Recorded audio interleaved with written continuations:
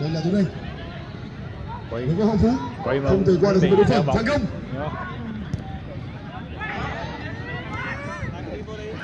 chưa thể chuyền bóng qua bên kia là cái cháy dành cho chàng trai và đạo sư đầu tư Văn Phúc. Theo thông tin mà tôi đã cập nhật được xem bên kia kết quả là một điều dành cho ca thủ Kesaka Coffee. Dạ, dạ, dạ. Không vào.